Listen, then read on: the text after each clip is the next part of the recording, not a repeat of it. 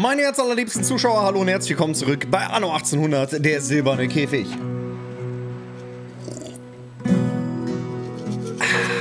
Falls ich so aussehe, als wäre ich gerade eben erst aufgestanden, das liegt daran, dass ich gerade eben erst aufgestanden bin. Ich weiß auch nicht, ob diese Folge heute noch kommt, also vielleicht auch gestern. Also ihr wisst, was ich meine. Ich bin äh, ab gepennt und bin gleich los äh, mit Annika zum Klettern. Annika und ich haben seit einigen Monaten ein neues Hobby für uns entdeckt, was wir gemeinsam verfolgen. Und zwar gehen wir nämlich zusammen bouldern, äh, so ein, zwei Mal die Woche. Und dann danach wird gekocht und dann Stream. Und ich weiß nicht, ob ich das heute noch hinkriege mit dem. So oder so, es kommt wohl demnächst. So, willkommen zurück. Wir haben die zweite Rate abbezahlt. Da ging es um 40 Silberbarren. Und jetzt steht die dritte Rate dann auch schon vor der Tür. Der macht ja kein, keine Pause. Die Barren sind nicht das Thema. Die haben wir schon auf Lager. Wir haben schon 100 äh, auf Lager fast. Aber wir müssen eben auch die ersten 10 Silbermünzen abgeben. Die Prägestätten haben wir auch schon vorgeplant. Ich meine, wir sind ja vorbereitet, so ist nicht, ne? Die sind auch schon hier geplant, dass die hier gebaut werden und so weiter. Aber was das Problem ist noch, und da müssen wir uns jetzt dringend drum kümmern, um, äh... Die Flammen sind außer Kontrolle. Ja, das ist auch ein Problem. Oh ja, Großbrand. Ja, wir haben ja hier diese, diese Brandgefahr irgendwie, äh... Hier, Gefahr akzeptieren. Brandgefahr plus 50%. Genau, da war was. Ähm, Kautschuk. Wir müssen uns dringend um Kautschuk kümmern, sonst können wir keine Silbermünzen herstellen. Und das ist ein bisschen problematisch insofern. Warte mal, wir holen mit dem schon mal eben neue Ziegel auf.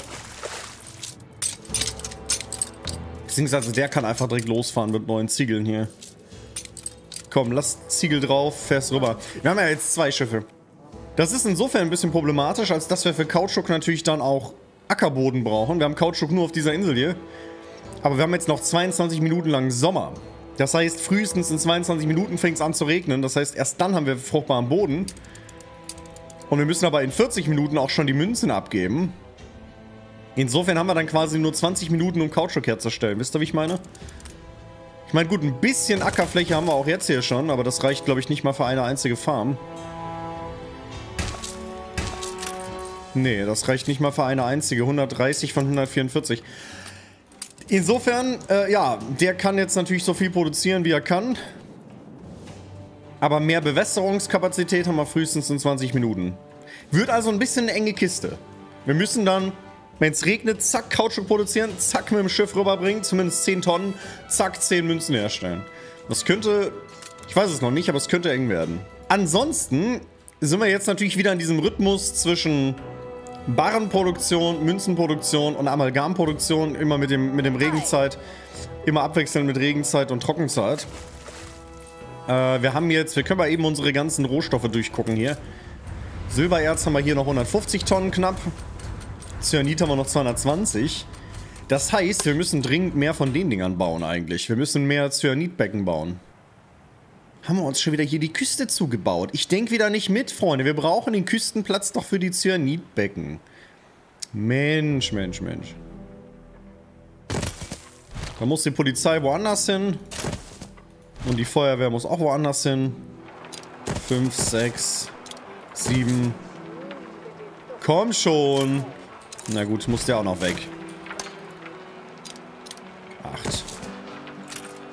Warte mal, und wenn der hier hin kann, kann der dahin. Dann noch eine weitere Cyanidlaugerei, weil wir haben jetzt die, die Rohstoffe für das äh, Amalgam, für das Silberamalgam, die haben wir ja. Wir haben ja noch genug hier auf Lager. Und Silbererz zum Beispiel kann ich mir jetzt auch noch holen hier drüben. Da haben wir auch schon wieder 16 Tonnen nur. Sag mal, arbeitet ihr auch oder was macht ihr den ganzen Tag? 16 Tonnen Erz. Könnt ihr euch mal ein bisschen Mühe geben vielleicht auch bei der Arbeit oder wie ist das? Wir könnten auch noch, äh, also wir haben jetzt halt viel Arbeitskraft sogar übrig eigentlich aktuell. Kann ich wieder singen. Das heißt, auch wenn gerade Sommer ist, können wir mal ein paar von denen doch arbeiten lassen, dann können die schon mal Barren machen, ich meine. Schadet ja nicht. Ja, Bouldern. Upsala, hau ich hier direkt mal Mikro weg. Bouldern, da bin ich mit der, der Boulder, ich direkt mal Mikro weg. Äh, das haben Annika und ich für mich entdeckt. Ich war mal irgendwann als, ich weiß nicht, wie alt war ich da, zwölf oder so, da waren wir mal irgendwie in der Kletterhalle klettern. Bouldern habe ich tatsächlich noch nie gemacht gehabt. Nur so mit, mit also es gibt Top Rope Klettern, es gibt verschiedene Arten zu klettern natürlich. Aber in der Kletterhalle klassischerweise hast du halt normales Klettern mit höheren Wänden, wo man sich oben äh, einseilt und jemand dich sichert. Und äh, Bouldern ist halt quasi ähnlich, nur dass die Wände halt nicht so hoch sind, maximal so 3-4 Meter irgendwie und äh, dafür ohne Seil. Und statt, stattdessen liegen unten Matten, weil ich meine, wenn man aus vier Metern auf harten Boden fällt, tut immer noch weh.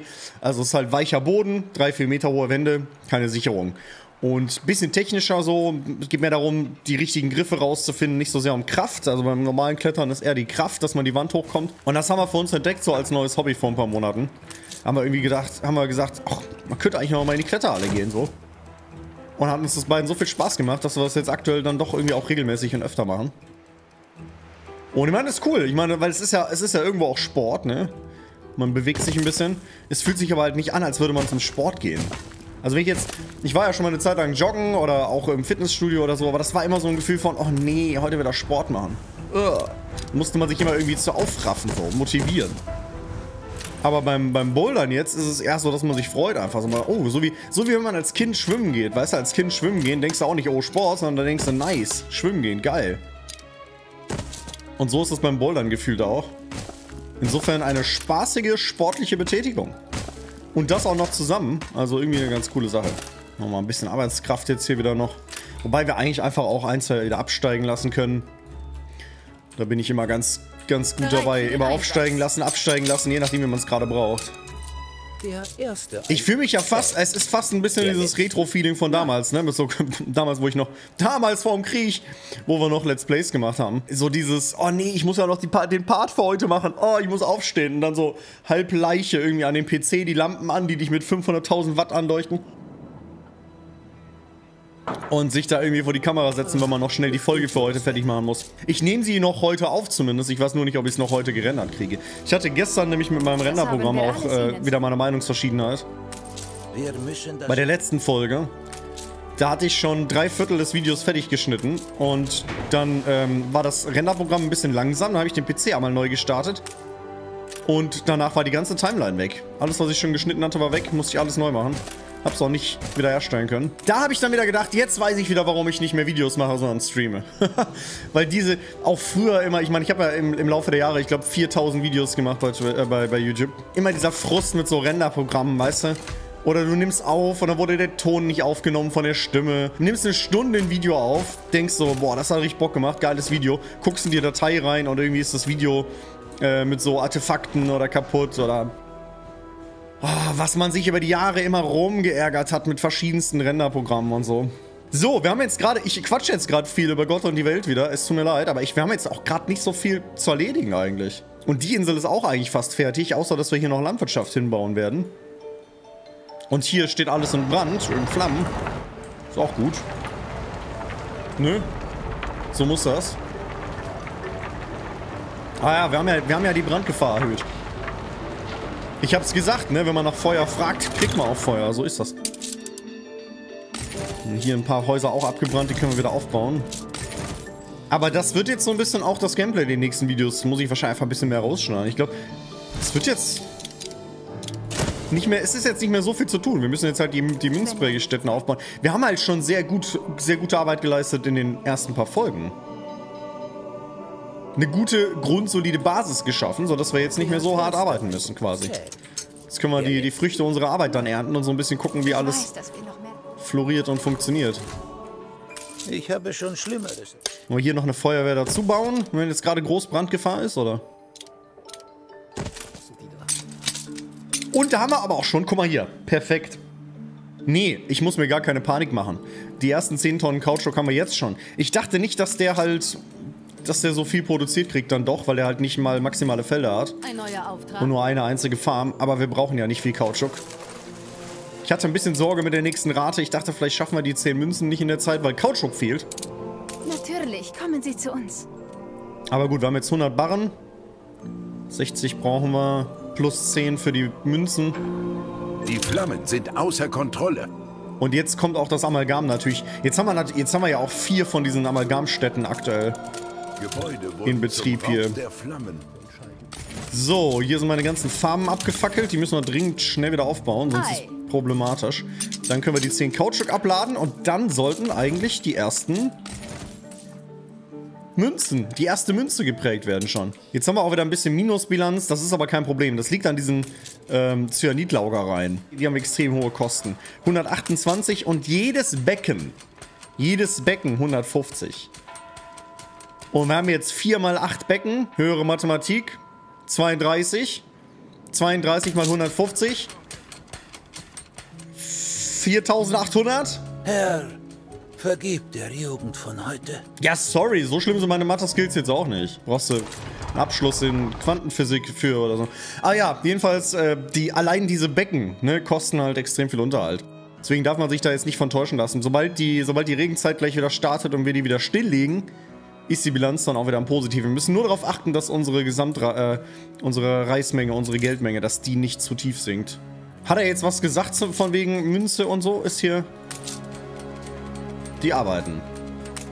Die erste Münze wird geprägt. Gleich, gleich macht's Katsching in der Kasse und wir haben die erste Münze.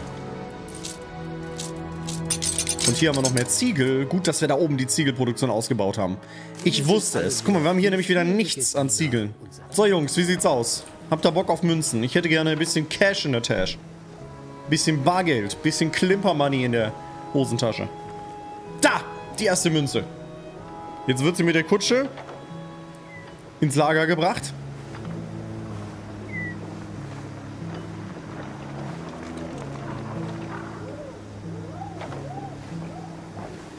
Und ausgeladen. Ich meine, so eine Münze ins Lager tragen, ich meine, die ist auch schwer. Das war jetzt unspektakulär. Ich habe eigentlich auf so eine Nachricht gewartet. Kam die schon? Dass er dann eigentlich was sagt von wegen, oh, die erste Münze. Jetzt hat er gar nichts gesagt. Traurig. Die knallen jetzt gut durch hier, die Becken. Und da geht dann auch unser Silbererz ganz schnell äh, Richtung Null. Obwohl wir ja hier 5 Minen auf 150 haben. Nochmal 3 Minen auf 150 haben und nochmal 3 Minen auf 150 haben. Ich meine, mehr Silber können wir nicht produzieren. Wir sind an Peak Silber. Wenn die, wenn die Minen nicht reichen, die 11, mehr geht nicht. Wir können mal noch ein bisschen mehr Rum produzieren. Wir haben nämlich noch relativ viel Zuckerrohr auf Lager.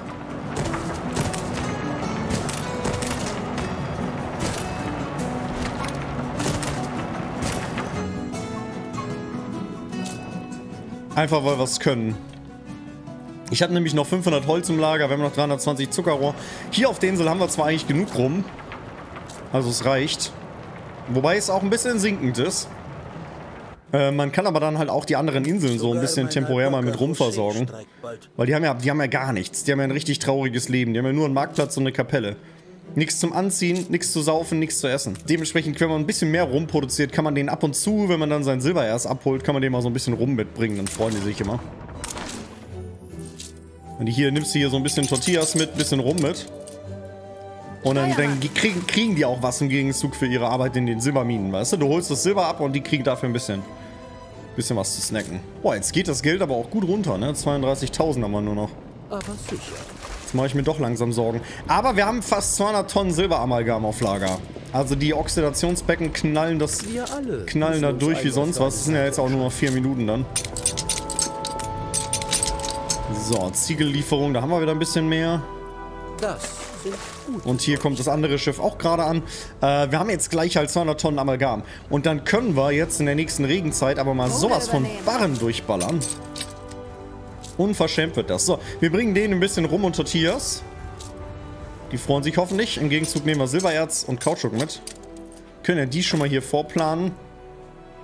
Sobald jetzt gleich die, die Regenzeit beginnt, können wir nämlich dann die Kautschukproduktion ausbauen. Weil das sind dann die nächsten Schritte. Wir haben ja jetzt dann gleich eine ganze Menge... Mein Koks haben wir schon fast 500 Tonnen. Äh, eine ganze Menge Koks und Amalgam. Das sind also nochmal 200 Barren. Dann haben wir schon 300 Silberbarren. Das heißt, dann geht es vor allem darum, diese Barren endlich in Münzen umzuprägen. Umzumünzen. Witz des Tages, Freunde, Witz des Tages. Alexa, erzähl uns den Witz des Tages. Was hat jemand, der immer im Dreieck läuft? Kreislaufprobleme. Stark, aber nicht so stark wie meiner. Was machen wir denn jetzt dann die restlichen Parts, Freunde? Wir haben jetzt eigentlich nichts mehr zu tun. Wir haben zu gut gespielt eigentlich. Wir sind quasi, wir sind irgendwie fertig gefühlt. Seht ihr, wie jetzt unsere Bilanz gerade ins Positive gegangen ist? Das liegt daran, dass wir die da hinten jetzt versorgt haben. 900 kostet das, um einen so eine Silberschmelzhütte umzu, zum, zu, umzusiedeln, oder was? Das kostet, das ist genauso teuer, wie eine zu bauen. Ich wollte mir da nur ein bisschen Platz machen für noch ein bisschen Landwirtschaft. Damit wir noch was zu tun haben. Und dann kostet das einfach 3 Milliarden Dollar. So, Regenzeit. Regenzeit, Schmägen, Schmägenzeit. Sehr schön, ich mag die Regenzeit. Naja, die Ziegen ziehe ich jetzt mal da oben hin, da haben wir nämlich Platz. Dann kann ich, weil das Problem ist, dass diese Farmen hier, diese Hacienda-Farmen, die müssen innerhalb der Hacienda liegen. Und jetzt habe ich gedacht, wir können da oben noch Farmen produzieren, aber das ist da nicht mehr in dem Radius. Das heißt, wir machen stattdessen hier die Fläche frei, dass wir da noch Farmen hinbauen können. Aber das Umziehen ist wirklich teuer. So, jetzt haben wir in der, in der Sommerzeit haben wir jetzt 240 Tonnen fast, 235 Tonnen ähm, Silberamalgam hergestellt. Jetzt können wir die ganzen Dinger pausieren und jetzt gucken wir, was meine Bilanz macht. Bam, Junge. Ei. Einfach reich. Und stattdessen gehen wieder die Barrenproduktionen in Betrieb. Ohne Witz. Ihre Bevölkerung hat die Revolution ausgerufen. Ach, was für Revolution. Ruhig, ruhig, ruhig. Ihr wisst gar nicht, wie gut es euch geht. Ohne Witz, ich glaube, abreißen und neu bauen ist tatsächlich geldtechnisch günstiger als umsiedeln. Guck mal, wenn ich die umziehe, zahle ich 900 Reis. Wenn ich die abreiße, kriege ich 450 zurück. Und wenn ich sie neu baue, zahle ich 900. Das heißt, abreißen und neu bauen ist halb so teuer, geldtechnisch. Gut, ich muss dann halt Ziegel und Holz zahlen, aber die habe ich ja. Starke Monsunwinde brausen über die Insel. Die Bewohner glauben, es sei das wütende Heulen des Berges oder des Ungeheuers, das in seinen tiefsten Höhlen wohnt. Die Leute trotzdem zur Arbeit zwingen, den Bewohnern freigeben, bis das Heulen sich legt, dem Berg eine Opfergabe aus Silber darbringen. Mit 50 Silberbarren. Andererseits alle Produktionsgebäude, Produktivität plus 50%. Wobei, warte mal, hier gibt es auch Produktivität plus 50%. Und da muss ich kein Silber für bezahlen. Aufstandsgefahr plus 25%. Ja, wen interessiert das denn? Rein. Ich werde nicht zulassen, dass dieser alberne Aberglaube meine Heimkehr gefährdet. Härter arbeiten klingt gut. Ich, wollt, ich war gerade schon drauf und dran, da eine Opfergabe darzubringen. Dann habe ich es mir doch anders überlegt, weil ich dachte, was für, was für Barren, wie ich das Ganze auch ohne Barren haben kann. So, jetzt regnet's. Und damit füllt sich hier das äh, Wasserreservoir. Das heißt, wir können jetzt hier mal umbasteln. Und das ist wichtig. Wir brauchen dringend mehr Kautschuk. Jetzt haben wir nämlich gleich ganz viel ähm, Barren auf Lager. 10 Minuten haben wir noch. Jetzt haben wir gleich ganz viel Barren auf Lager. Aber diese Barren müssen wir ja dann auch noch in Münzen umwandeln. Das heißt, wir haben jetzt 50% mehr Produktivität bei allen Produktionsgebäuden, oder was? Dafür steigt die Aufstandsgefahr. Das heißt, wir müssen darauf achten, dass wir überall genug Polizeistationen haben. Damit die dann nicht plötzlich auf doofe Ideen kommen, weißt du, so von wegen, oh. Die, die Münzen hatten wir ja schon fertig, ne? Warte mal, wir haben jetzt noch 10 Minuten, 60 Barren, 10 Münzen, ja. Eigentlich müssten wir die Lieferung schon fertig haben, oder?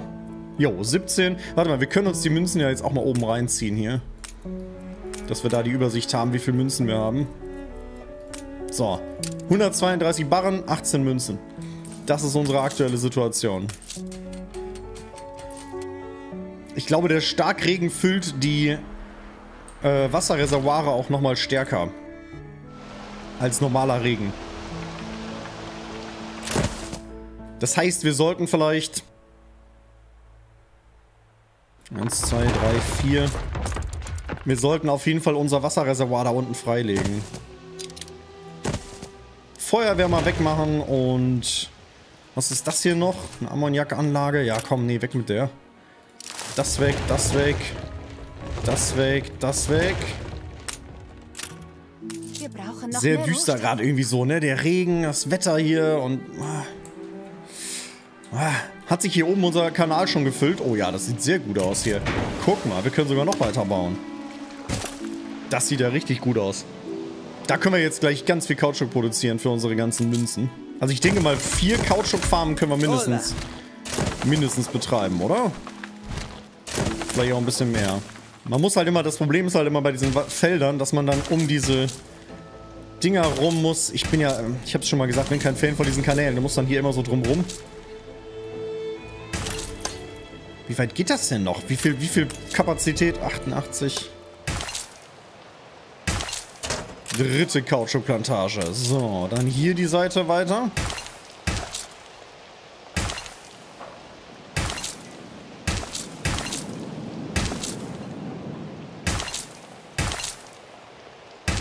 Vierte Kautschukplantage. Ja, okay, für Nummer 6 ist jetzt kaum noch Platz tatsächlich. Der hat jetzt noch ein paar Felder. Aber ich meine, das ist auf jeden Fall schon mal eine ordentliche Kautschukproduktion. Und das Wasser steigt weiter.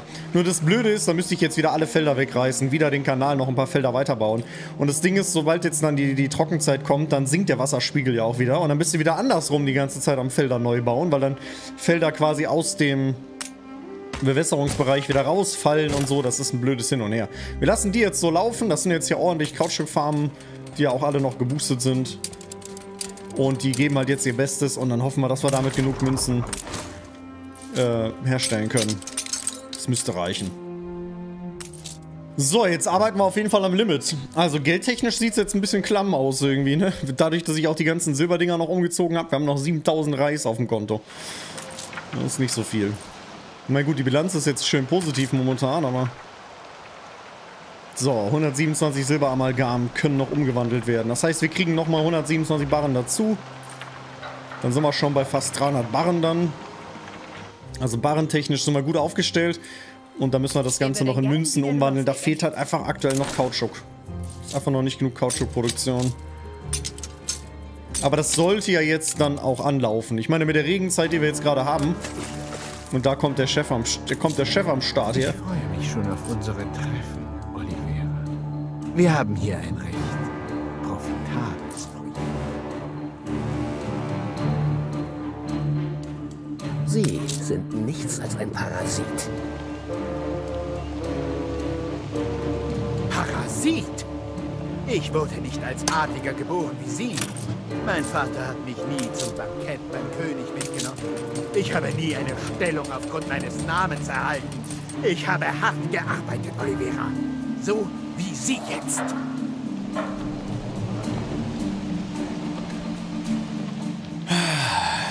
Was ein freundlicher Zeitgenosse, oder? Das heißt, gleich wird die nächste Rate fällig. Aber die haben wir Gott sei Dank schon da. Sehr düsteres Regenwetter jetzt. Man sieht ja gar nichts mehr. Ich glaube, warum wir auch so wenig Geld haben, es liegt auch daran, dass die Felder so teuer sind. Nee, nee, nee, erst in fünf Minuten, mein Freund. Dass die Felder so teuer sind. Dadurch, dass wir jetzt das ganze Kautschuk gebaut haben und so, das kostet halt alles sehr viel Geld. Aber wir müssen auch hier mal unsere Bewässerungsanlage ausbauen. Auch hier ist jetzt noch mehr Landwirtschaft möglich.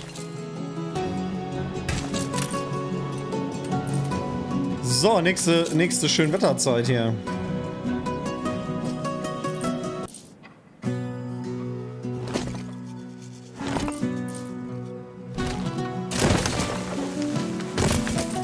Ihre Zeit läuft ab, Oliver. Ja, das ist noch alles im Rahmen, mein Freund. Ich habe doch die Zeit im Blick, Mensch. Wie lange haben wir noch? Eine Minute acht. Ich bin hier gerade noch ein bisschen am Maisfelder bauen, weißt du? Das hat jetzt Vorrang.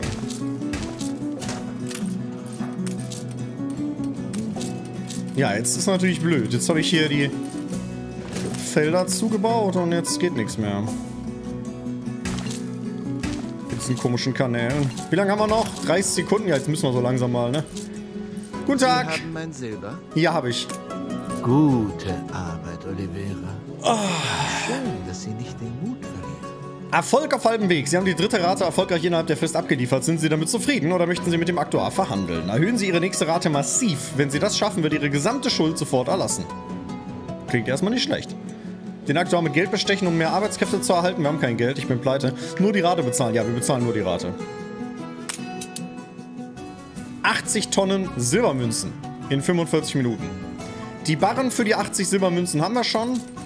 Was wir eventuell noch nicht haben, ist genug Wissen Kautschuk. Sie, Oliveira, mit all dem Silber wollen wir eine große neue Armada aufstellen.